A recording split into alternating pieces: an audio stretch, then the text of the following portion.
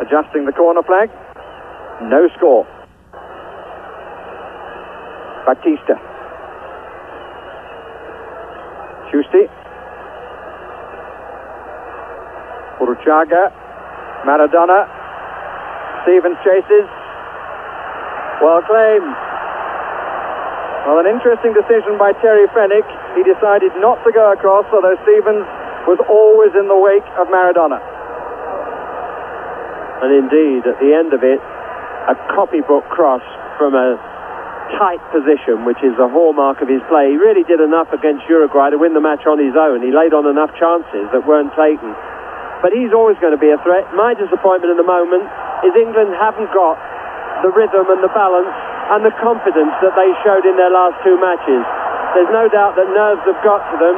Early on to Gary Stevens with one or two wild clearances. Terry Fenwick not using the ball as well as he's able, and Glenn Hoddle really a shadow of what he was in the other match. And so they really do need to settle to frighten the Argentinians and get the balance back into the game.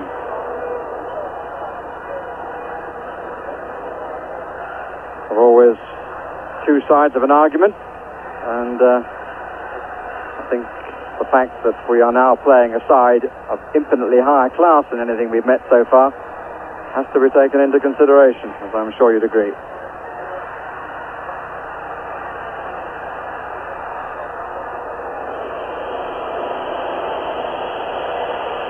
And in case you've come in and joined us late, let me tell you, with now six minutes remaining, there is still no score in this third of the four quarterfinals, England against Argentina. Just to pick up that point, Barry, I would say they're higher class in possession, but they're not that much better when England have the ball. And England are causing their own uh, misgivings and, and downfall at the moment.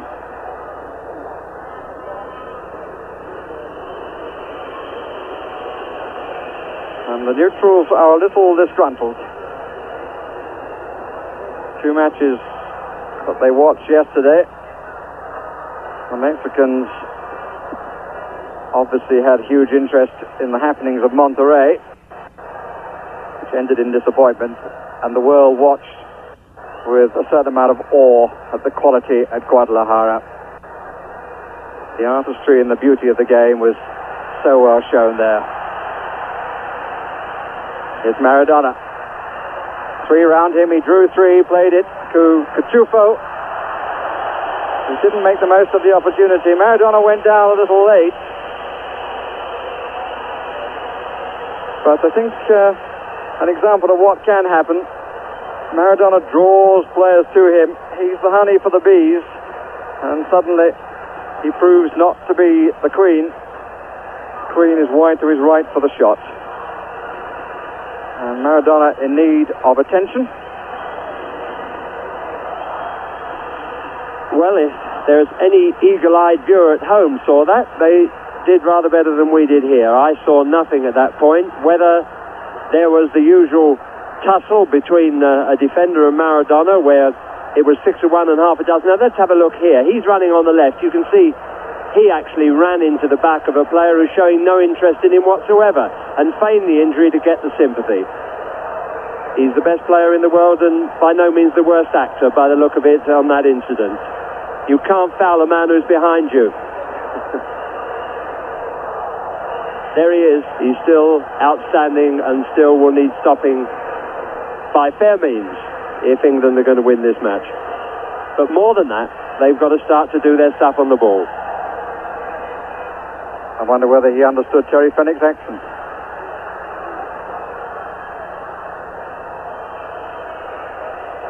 chair. Brown. Pumpido. Seen very much of the ball. The balance of the play, not greatly, but slightly in Argentina's favor. Batista. Sansom.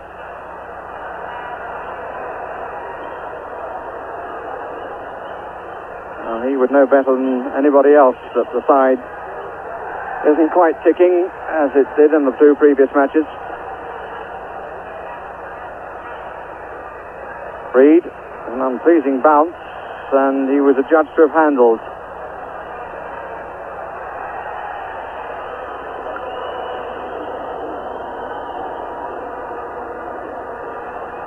Valdano is the furthest forward for Argentina. Referee being very precise as to which blade of grass is the point of the free kick. Maradona down the middle, cover by Fenwick. And I think it's fair to say that only Maradona has looked like making a breakthrough. He's the only one who's committed people in the last third of the field. Burruchaga.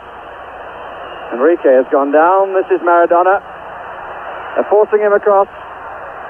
Batista. Shot blocked by Hoddle. Wasn't a particularly good shot anyway. Butcher had to dig it out a little bit with his right foot.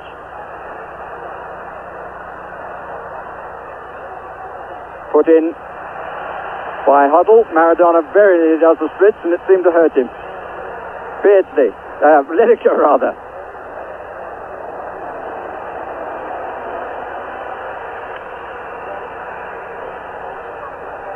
Batista.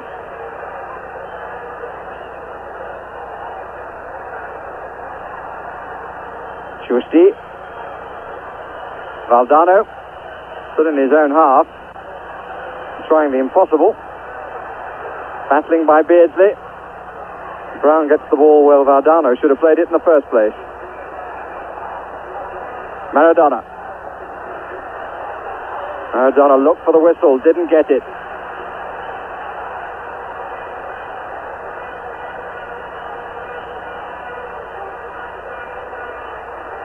And the Argentines, like the English, getting men behind the ball. Defenders are winning out. And they didn't all start by playing in the back four. We're into the last minute.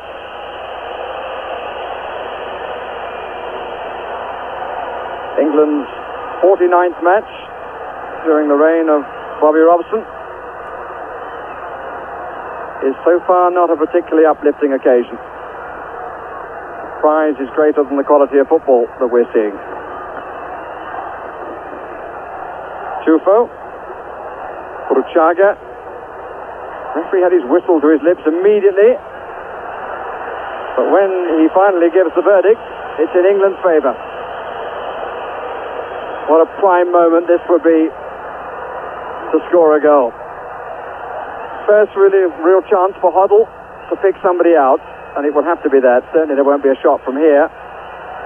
Five forward for England across the uh, 18-yard line, and we're now playing the time for that uh, corner flag incident. Hoddle forward again for Kenny Sansom. Hodge has got in his way. What a shame. Flag was up for offside, but I suspect it was against Hodge and not against Sansom. And clearly the move was between Hoddle and Sansom. A little chip forward for Sansom to run onto. Hodge moved too soon, got in the way of Sansom's run, which would otherwise have been absolutely clear in on goal. And how pleasant to see a bit of imagination from a free kick coming from England of all, all countries. So there's the end of the first half. I see no reason to believe that it wasn't going to be a tight game today. The other two quarterfinals ended in penalties, and that could well be the case today. Such is the fear, really, of both sides for each other. The midfield hasn't run clear. FIFA appear not to be able to make up their mind. I'm sure viewers will remember just a couple of seasons back, it became the practice in the Football League for referees to interpret that kind of offence outside the penalty area as a sending off offence. In fact, they did so at that time. But through the FA, the Football League was stopped from allowing referees to interpret in that fashion. Uh, FIFA said at the start that players were to be sent off. But apparently, referees are not carrying it out, so it's all a muddle. But let's hope we don't have that same kind of situation in the second half. And those who stand to serve will be saying amen to that, apart from the players that Bobby Robson presumably has already decided will take the penalties should it be required. And as Argentina, the last